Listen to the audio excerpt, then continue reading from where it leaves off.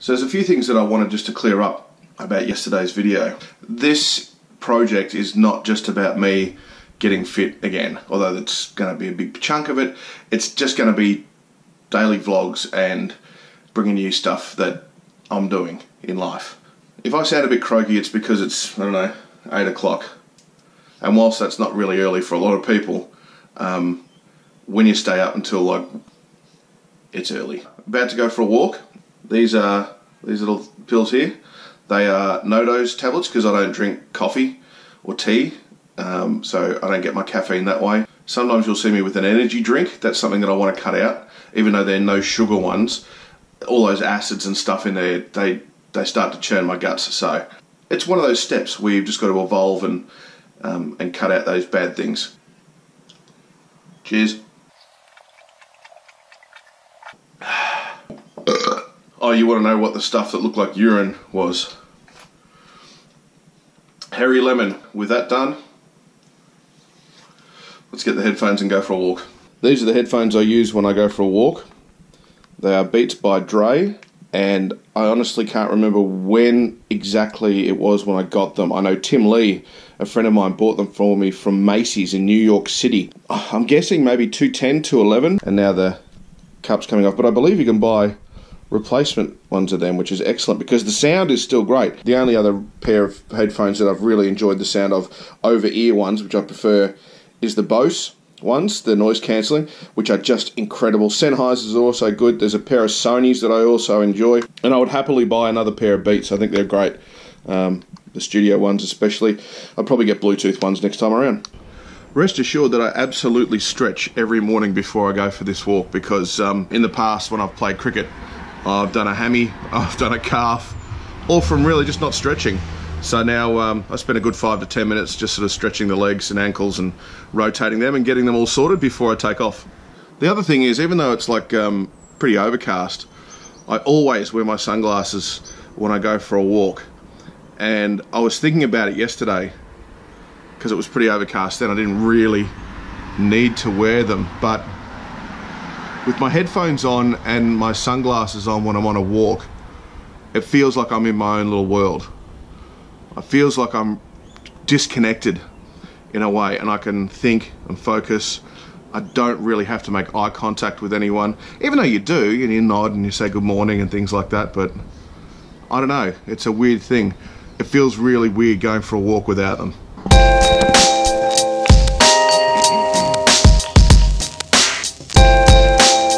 Listening to Hardwired to Self-Destruct by Metallica, the new album.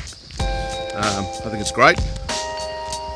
Got onto the bonus disc, a whole bunch of live tunes, old school live tunes, which is excellent. So that's what I'm listening to.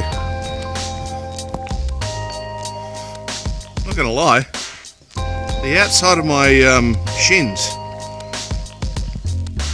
like all stiff. I've only been walking for a couple of days. That'll get better.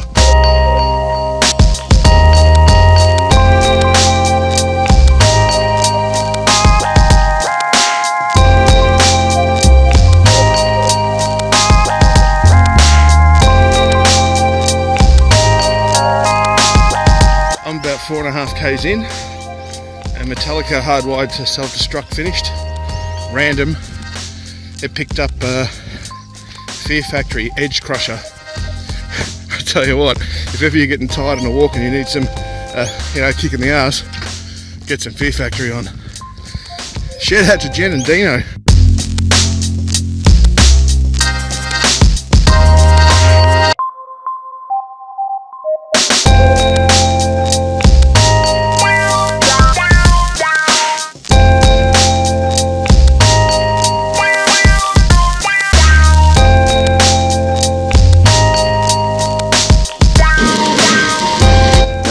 Usually got banana in it as well, but they're not ripe enough yet. So it's mango, vanilla yogurt, a touch of coconut, cinnamon, and uh, ice and water. That's it. Bloody beautiful. That's New Caledonia. Oh, so is that. There's too much light behind me, isn't there? I've really got to set up a spare room to be a proper place where I can do a piece to camera. Because it's just, let's try something else. So I got back from the walk. It was a good walk. Walked a bit further, walked a bit faster. Excellent. I imagine that will only improve as I keep going on with this. Uh, a couple of things I wanted to talk about were yesterday I mentioned the mental block when you're a, a fat person trying to dispose of weight. Um, a friend of mine, Jack the Bear, said, "Don't call it weight loss because that means you're looking for it again. Um, call it weight release." And I like that. It's a little bit hippie, but I like it. One of those mental blocks is that if you spend a lot of time on Facebook, like I do, and like a lot of people do, the things that you get assimilated with by your friends can really be a mental block for this weight release. Um, and for me, I always get tagged in, you know, burger places with massive burgers or big steaks or eating challenges. And yeah, I love all that stuff. I did, but I've got to stop it. And when you see that, you kind of get a picture of how other people see you. Um, and you never really see yourself like other people will. You can be your own worst critic, but you don't you can't see yourself through someone else's eyes. So if they see you as this big fat food challenge taking binge drinking person, then that's probably who you are. So that's what I've got to change. That's the perception that needs to change. And if other people see that in me, then I'll start to see that in me. That was pretty heavy.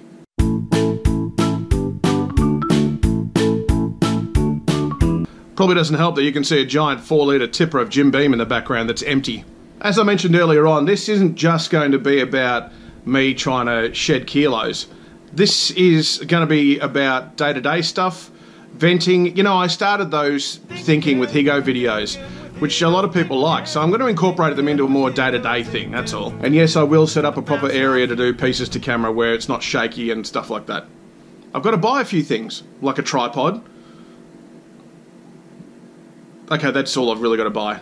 So I thought I'd try something different today on the way to work, and that is by having the GoPro stuck to my dash. Um, and just looking at it from where I'm sitting, a little bit of vibration because the dash you know, is obviously the crash pad is made from foam, so you just get a little bit of shaking there, and I think it would probably work better if it's stuck to the window.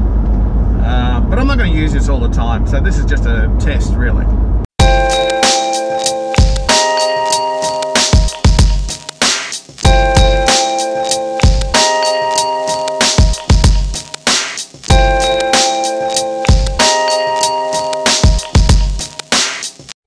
Australia proud, mate. Hey, to get yourself on the short list, people take note.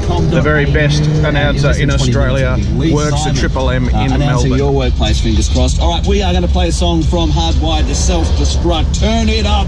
This is Atlas Rise, new rock from Metallica, Triple M. Dangerous Dave, people. Dangerous Dave.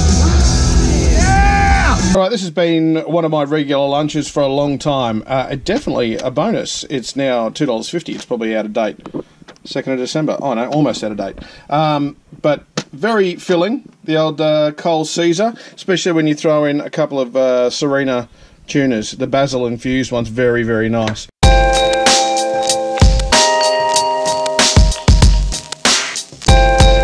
You know how you you know how you think of something and you go, I must remember to talk about that later on. And then you forget? That's what happened to me today. When I got back from my walk, I mentioned um, the bit about the uh, being tagged in Facebook posts and things like that. But there was two other things. Two. I cannot, for the life of me, remember what they were. Let Top Place bring your roof back to life. Topplace.com.au. The Monash Freeway still struggling city bound from Toorak.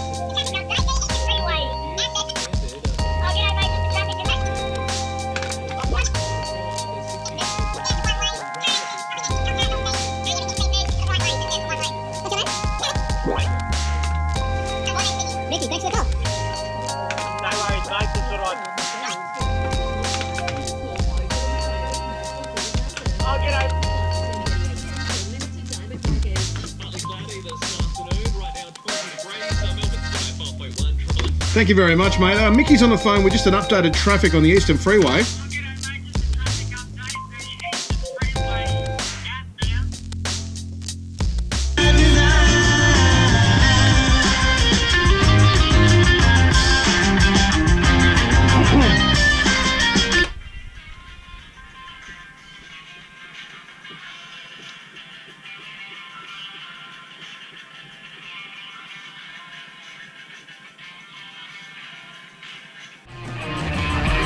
Best classics in new rock on 105.1 Melbourne's Triple M with Higgo. You know, there's a lot of people excited for Valentine's Day next year. Not because they're in a romantic relationship, no. Because Guns N' Roses are playing at the Triple MCG. And what started with just talks of doing Coachella turned into something much more. But did Duff McKagan expect it? I don't know that I thought too much about how far ahead. It was just really cool to play some of that music with the guys I was playing it with. Man, it's going to be a special day. Duff, Slash, Axl, and the others. Happening for Triple M at the Triple MCG, Feb 14. Here's November Rain, Triple M. Came home to a package today in a nice post pack. I've already opened this, but I'll just, uh, I just think this packaging is fantastic. So I wanted to share this with you as you just, uh, sli- I, should, I should have actually put this on a tripod, but anyway, it slides out like this. It's very nice packaging. What, how am I going to do this? I really should have thought this through because you can't really do it. Anyway, you get the idea.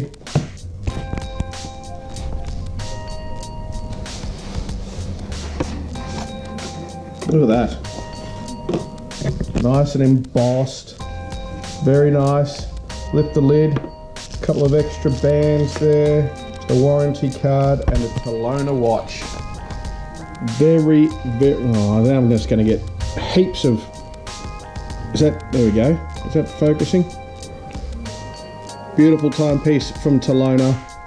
You definitely got to check them out online.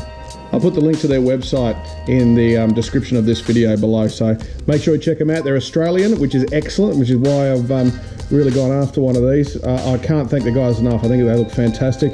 They are super stylish and super affordable as well.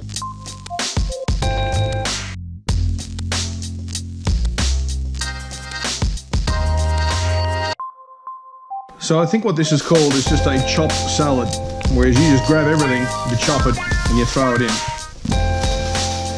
Cucumber, capsicum, capsicum,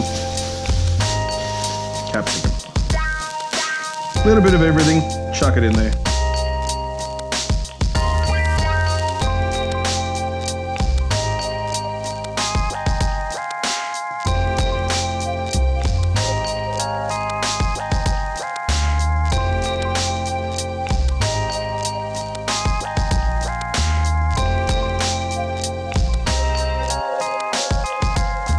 And there it is.